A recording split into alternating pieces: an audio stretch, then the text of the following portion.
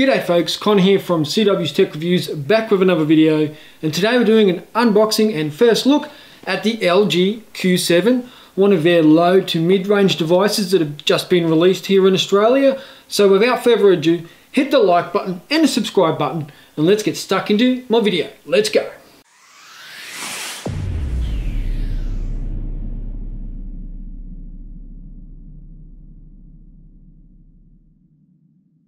Alright everyone, so first things first, LG Q7, pretty plain packaging, Q7 on the front, DTS sound symbol on the back, and that's pretty much it. My beautiful unboxing knife.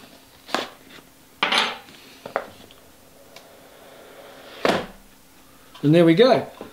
First thing you see is a microfiber cleaning cloth by LG sitting there. That's nicely done. Thank you, LG. Secondly, we have the device itself. Feels pretty good. It's got a good small size to it. Nice feeling in the hand. So I'm just going to power that on.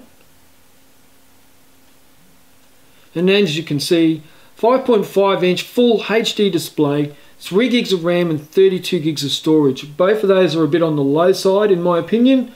However, it is IP68 water and dust resistant. And I've also seen somewhere that it's military standard tested as well. And what that means, we'll find out a little bit later on.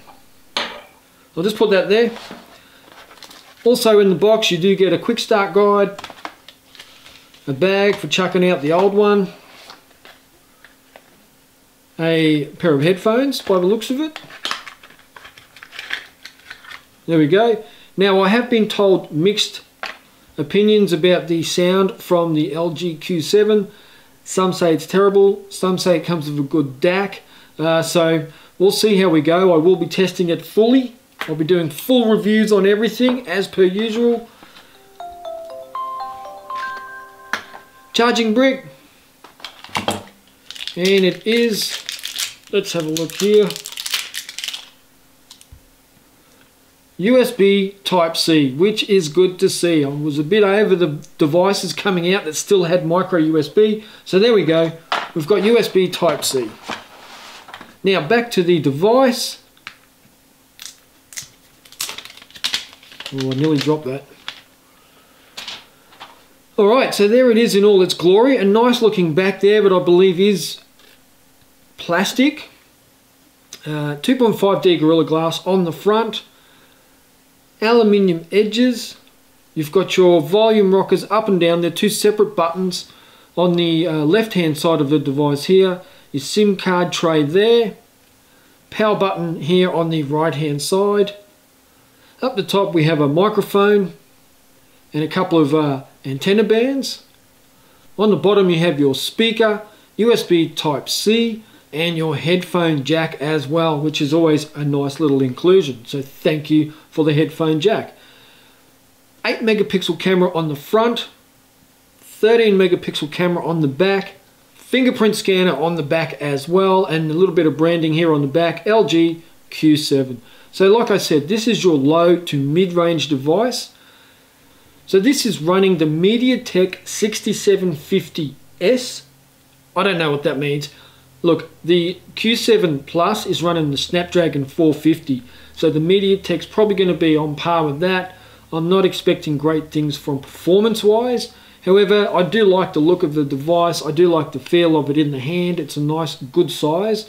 Um, so most people are going to be able to hold this comfortably. If you have large mittens, then you're probably going to find it a little bit too small. But for me, it's a nice size, nice feel to it. It doesn't feel slippery.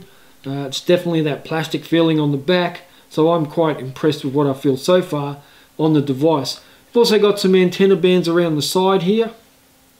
So antenna bands on this side, two of them along the top and one of them along the right hand side as well. Also on the bottom, antenna band on the left hand side next to the headphone jack. Alright, so let's get stuck into it. I'm going to skip the SIM card. I'm going to go Wi-Fi Alright, we're now connected to the internet, so we'll continue on with this setup. One thing I didn't get, which I'm surprised with, and maybe I've been a bit spoilt with all these Chinese brands, is a free case. I think everyone should throw in a free case. Just a nice thin TPU case just to keep it nice and safe. 55% battery. This is running a 3000 milliamp hour battery as well and you know I'm going to be using this as my daily driver. Allow. I agree. I haven't had a lot to do with LG over recent years. I mean, they have released some good devices, but nothing that made me want to rush out and purchase one. Uh, mainly was the software.